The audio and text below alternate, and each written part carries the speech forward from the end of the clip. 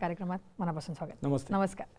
Sir मी जसं म्हटलं तसं की आपण कॅन्सरविषयी बोलतोच आहे. काही कॅन्सरचे भाग आपण बघितले म्हणजे अगदी अन्ननलिकेचा कॅन्सर असेल गर्भाशयाचा कॅन्सर असेल तर आज आपण ब्लड कॅन्सर किंवा रक्ताचा कॅन्सर याच्याविषयी बोलणार आहोत. हा म्हटलं ब्लड कॅन्सर म्हटलं की बऱ्याच जणांच्या अगदी पोटात हे येत- गोळा येतो कारण खूप मोठा केलेला पण आहे आणि तो आहेच तेवढा गंभीर.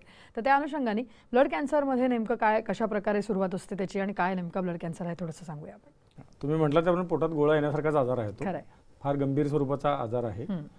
टोटली जवळपास इनक्युरेबल असं समजलं Exactly. जाते कारण त्याचं परत रिलॅक्सेशन हे मोठ्या प्रमाणामध्ये हो, आहे. हो. जरी कमी आला तरी.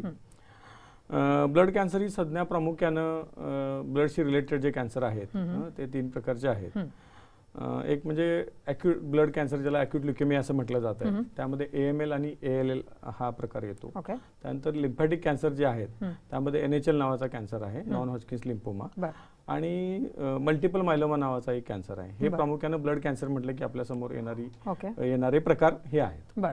जसं तुम्ही आता प्र- प्रकार सांगितले तसे मग प्रत्येकाची लक्षणं काय वेगळी असतात का? किंवा एकंदरच ब्लड कॅन्सरची लक्षणं नेमकी काय असू शकतात? कारण बऱ्याच वेळा आपण बघितलं तर कॅन्सरमध्ये वेग लक्षणांपासून सुरुवात होते. हो. आणि बऱ्याच वेळा म्हणजे स्पेशली जर का आता ब्लड कॅन्सर घेतलं तर खूप नंतरच्या स्टेजेसमध्ये जाऊन डिटेक्ट होतो की हा ब्लड कॅन्सर आहे. तर मग अशा वेळेला सुरुवात नेमकी लक्षणं कुठली असतात? त्याचं डिफरन्सिएशन आहे ते प्रामुख्यानं पॅथॉलॉजिकल लेवलला केलेलं आहे. जर ब्लड कॅन्सरची लक्षणं बघायची झाली म्हणजे ए एम एल आणि एल एल हे दोन कॉमन टाईप आहेत त्याची लक्षणं जर बघायची झाली तर ती लक्षणं वेगच सुरुवातीला दिसतात. म्हणजे काही रुग्णांमध्ये फक्त वारंवार ताप येणं काही रुग्णांमध्ये वेट लॉस होणं म्हणजे वजन हो, झपाट्याने कमी हो, होणं हो.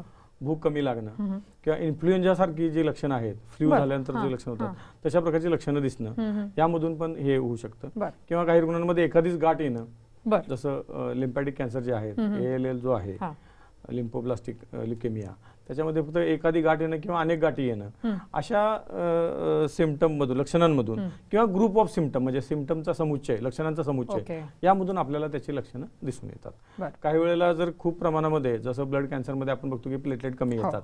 ब्लिडिंग होणं सडन अच्छा अनस्टॉपेबल ब्लिडिंग म्हणजे लवकर न थांबणं अशा वेग लक्षणांमधून सुद्धा ब्लड कॅन्सर आहे हे आपल्याला समजून येऊ शकतं बरं मग ते साधारण मग कुठल्या तपासण्या करून आपल्याला कन्फर्म करता येतं की नेमका हा ब्लड कॅन्सर झालेला आहे तर ब्लड कॅन्सरमध्ये प्रामुख्यानं ज्या वेळेला लक- अं, अं, त्या उपचार करणाऱ्या डॉक्टरला ज्यावेळेला लक्षात येईल.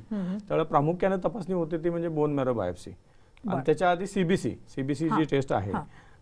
Complete blood count. Complete blood काउंटमध्ये आपल्याला असं आढळून येतं की बऱ्याच वेळेला हिमोग्लोबिनचं प्रमाण कमी झालेलं आहे बरं डब्ल्यूबीसीचं प्रमाण आयदर वाढलेलं आहे किंवा कमी झालेलं आहे. आणि प्लेटलेटचं प्रमाण जे आहे ते खूप ड्रास्टिकली कमी झालेलं आहे. तर याच्यावरून एक आपल्याला अंदाज येऊ शकतो की ह्या पेशंटला ब्लड कॅन्सर असावा. आणि त्यावेळेला ज्यावेळेला आपण सीबीसी मध्येच हम्म, हम्म. मायलॉइड सेल जे आहेत. किंवा ब्लास्ट ज्याला म्हटलं हो, जातं हो. त्या ब्लास्टचं प्रमाण वाढलेलं दिसणं ॲबनॉर्मल सेल जे आहेत हां, हां. ॲबनॉर्मल सेलचं प्रमाण वाढलेलं दिसणं ह्याच्यावरून शंका येते की ह्या रुग्णाला ब्लड कॅन्सर असावा. आणि मग त्याची पुढची तपासणी म्हणजे बोन मॅरो बायोप्सी आणि बोन मॅरो बायोप्सीमध्ये किंवा जेनेटिक फेनोटायपिंग जे केलं जाते त्याच्यामध्ये कन्फर्म होतं की ह्या रुग्णाला ब्लड कॅन्सर आहे. बरं.